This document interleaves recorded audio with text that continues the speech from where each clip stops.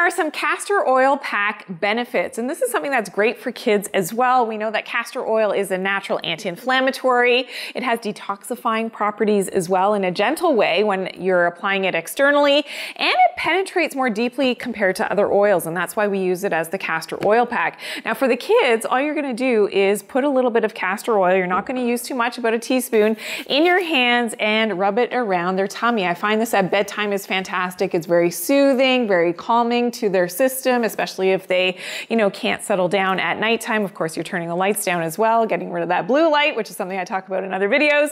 And then you can apply a piece of cotton or flannel around the abdomen. And then you don't need to really affix it. Just make sure they're wearing an old t-shirt because it can stain and let them go to sleep. Has that great anti-inflammatory effect as well and stimulating that proper liver function. Follow for more natural health tips.